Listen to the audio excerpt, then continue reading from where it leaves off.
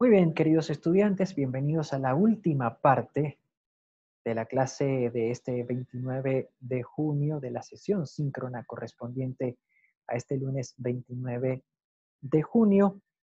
Vamos a continuar hablando acerca de la escritura periodística en eh, páginas web, acerca de la redacción de textos informativos para portales digitales para ello, me voy a permitir compartir pantalla con todos ustedes una vez más.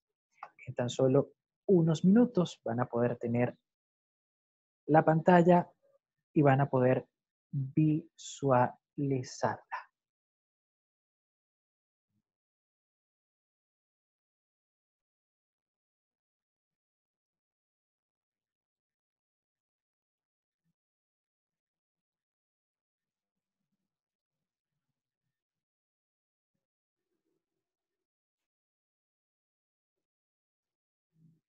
Bien.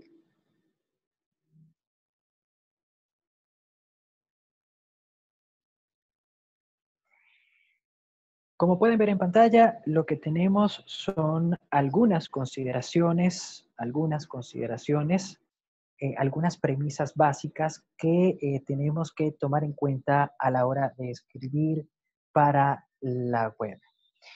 Eh, tanto en el apartado anterior, tanto en la parte anterior como en esta parte, les recuerdo que los textos tienen que ser más cortos. Los grandes bloques de texto asustan al usuario. Por eso, como promedio, debemos pensar en reducir un 50% la longitud del texto pensado para papel. Eso implica que si en impresos, si en medios impresos tenemos dos ideas por oración y dos oraciones por párrafo. En digital, en las páginas web, debemos quedarnos con una idea por oración y una oración por párrafo. Eso quiere decir que si en impresos tenemos máximo de 45 palabras por párrafo, en digital, en la escritura web, tenemos que reducir eso a la mitad, por lo tanto el máximo de palabras por párrafo se ubica en 22 palabras. Una idea por párrafo, ya lo dije. Cada párrafo debe ser de dos o tres líneas, de dos o tres líneas. Dos o tres líneas pueden parecer pocas en el papel, pero son suficientes en una web, en una página web. Por eso hay que evitar dar vueltas sobre una idea, hay que ir directo al grano y como les mencioné también en la parte anterior, hay que comenzar con la conclusión, que en el caso de nosotros los periodistas será la noticia. Hay que comenzar por la noticia. Siempre, siempre, siempre hay que comenzar por la noticia. Muy bien. Quiero presentarles a continuación algunas recomendaciones, algunas recomendaciones que deben seguir al momento de redactar un titular para la web. Lo primero que deben tomar en cuenta es que el título debe ser comprensible sin contexto. Al titular se debe considerar lo que puede ocurrir o al titular, al elaborar el titular, se debe considerar lo que puede ocurrir cuando el texto esté fuera de contexto al que pertenece y por tanto debe ser autoexplicativo. En pocas palabras, la noticia debe entenderse con tan solo leer el titular. La noticia debe entenderse con tan solo leer el titular. El usuario, al leer el titular, debe enterarse de la noticia, debe enterarse de lo que pasó, debe enterarse de quiénes fueron sus protagonistas. Y el titular debe entenderse por sí solo debe entenderse por sí solo. Eso de que, bueno, profe, yo lo redacté así porque si luego usted lee el libro, entonces usted va a entender lo que yo quise decir en el titular. No, eso no aplica. Eso no aplica particularmente en el caso de los medios digitales. Los titulares tienen que ser autoexplicativos. Los titulares tienen que entenderse por sí solos. Luego, las palabras del título o del titular deben apoyar el clic del usuario. Se debe considerar la inclusión de palabras que lo hagan seductor por sí mismo para que el usuario decida hacer clic al enlace para ir hacia la información a la que se refiere.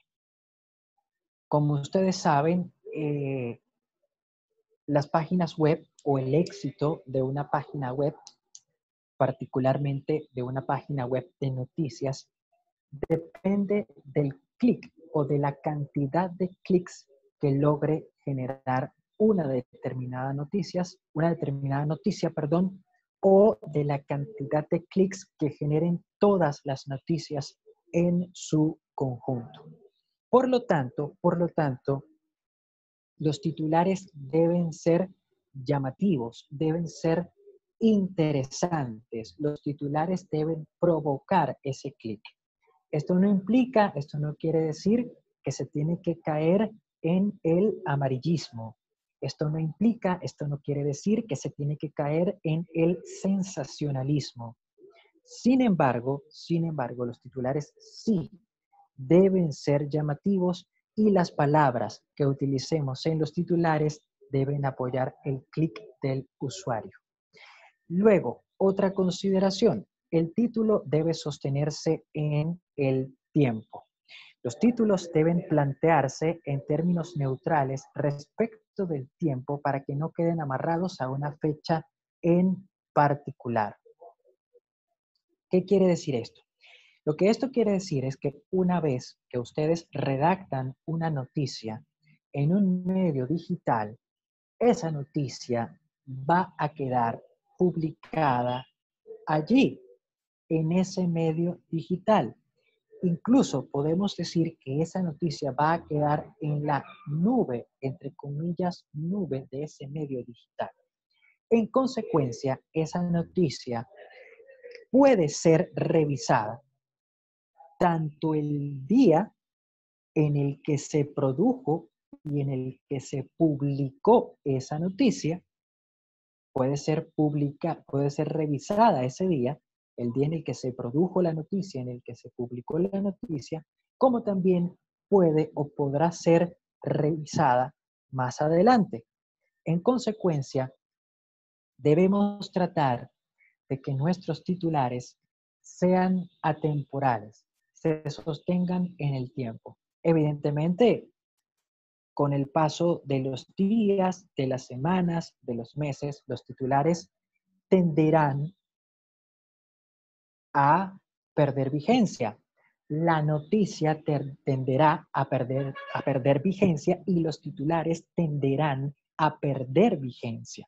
Eso es inevitable.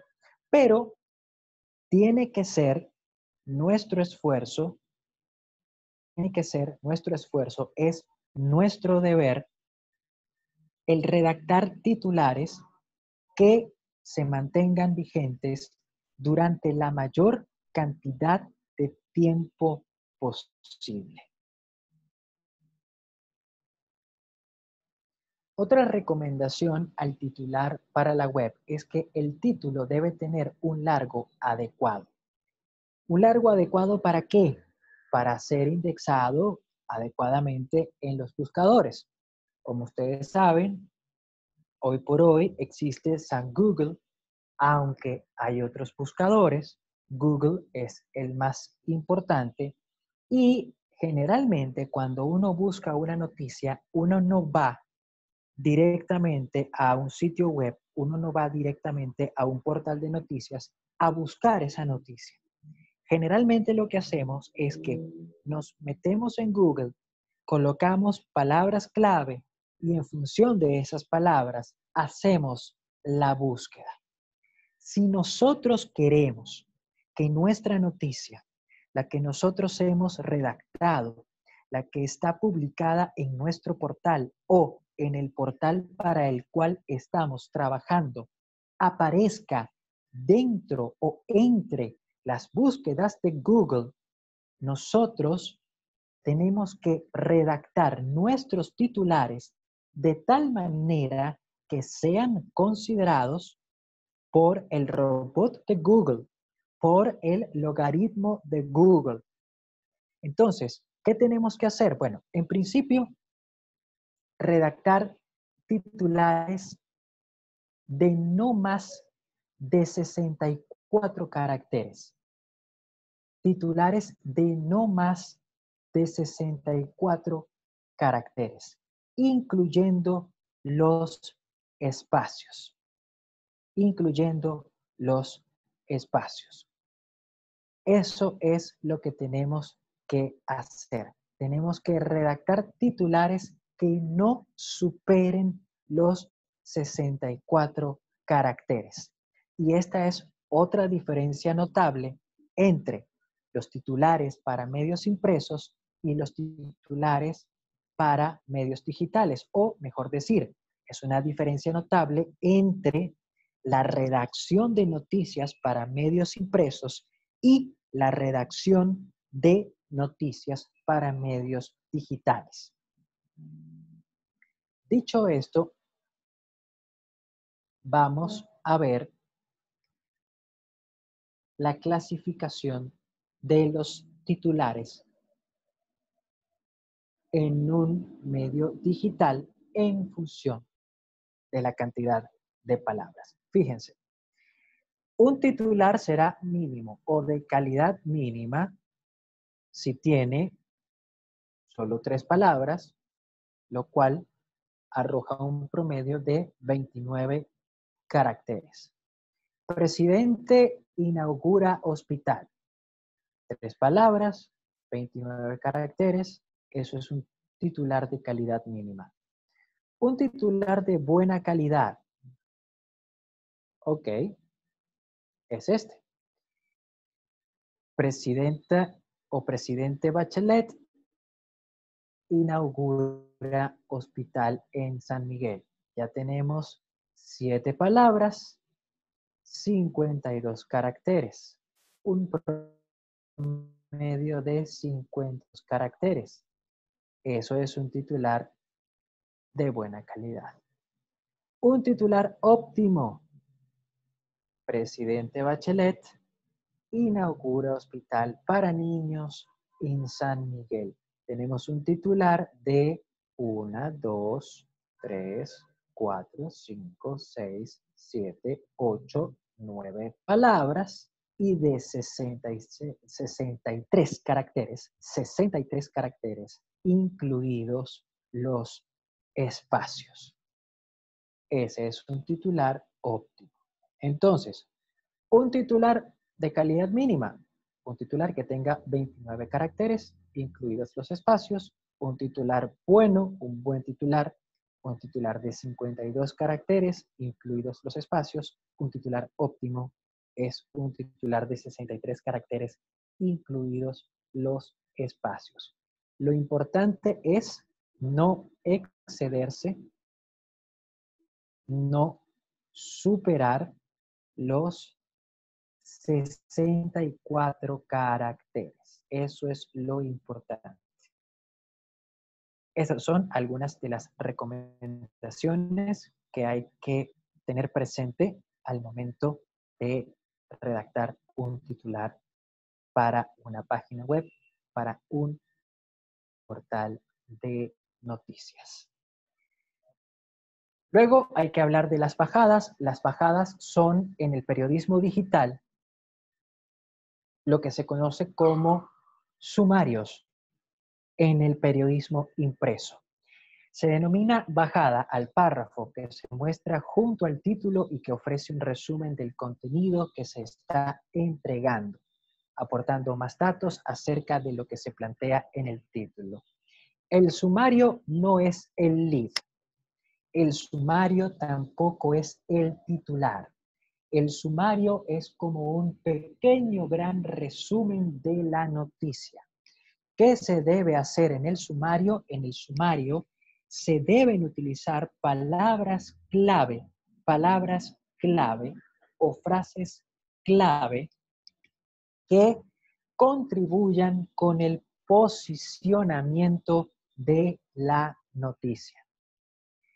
En el sumario o en las bajadas se debe aprovechar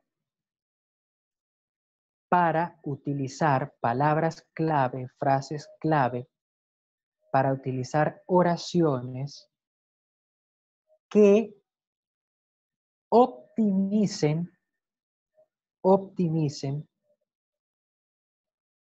el trabajo de los buscadores, es decir, palabras clave, frases clave, oraciones que hagan posible que mi noticia, que la noticia que yo estoy redactando, que la noticia que voy a publicar aparezca en la búsqueda que alguien haga en Google.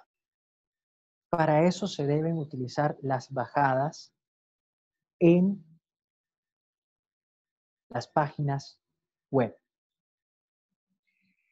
Ahora bien, una vez que tenemos claro cómo redactar el titular.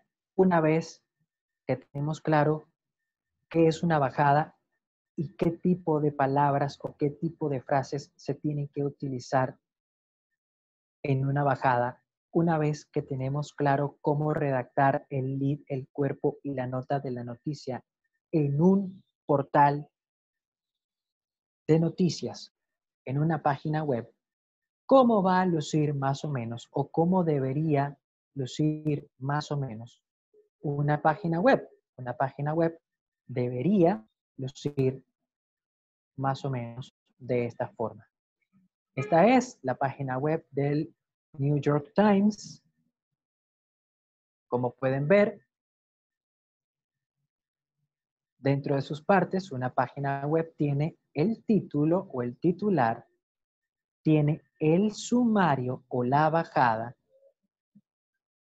y tiene el contenido relacionado. Este contenido relacionado no es necesariamente esta noticia. Es una noticia que se relaciona con esta noticia.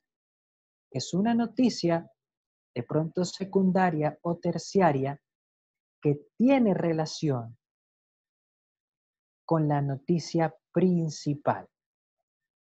Evidentemente, este link se coloca para romper con la monotonía y para darle al lector la, experiencia de hipertextualidad. ¿Por qué hipertextualidad? Bueno, porque si el lector quiere leer esta noticia, puede hacer clic acá y leer esta noticia. Y si no, se va hasta la noticia o hasta el contenido relacionado y pasa directamente de la noticia principal al contenido relacionado.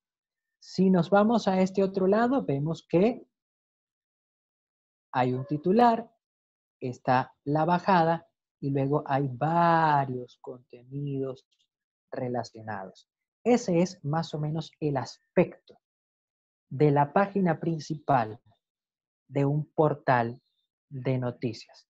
Si yo, abro esta nota, por ejemplo, si yo lograra abrir o pudiese abrir esta nota, esta nota que dice Tripoli divided as rebels just to, to field power back home, si yo lograra abrir esa noticia, esa noticia seguramente se me desplegaría pantalla completa, me aparecería su titular aquí arriba, me aparecería la bajada un poco más abajo y luego tendría el lead, el cuerpo y la cola de la noticia. Y en el lead, evidentemente, tendría lo más importante. ¿Qué es lo más importante? Lo repito, la noticia. ¿Y qué es lo más importante de la noticia? El qué y el quién. Eso es lo que tengo que colocar en el lead. Si luego puedo responder otras preguntas, magnífico. Si no, las dejo para el resto de la noticia. ¿Qué debo contar en el titular? La noticia. ¿Qué debo responder la noticia en, en el titular? El qué y el quién. ¿Qué debo contar en el lead? La noticia. ¿Qué debo responder en el lead? El qué y el quién. Si de pronto en el lead, en el titular o en el lead puedo responder otra pregunta aparte del qué y el quién, fabuloso. Si no, no me preocupo y dejo el resto de las preguntas para el cuerpo, para la cola de la noticia. Dicho esto, mis queridos estudiantes, ha finalizado la sesión teórica de este lunes 29 de junio.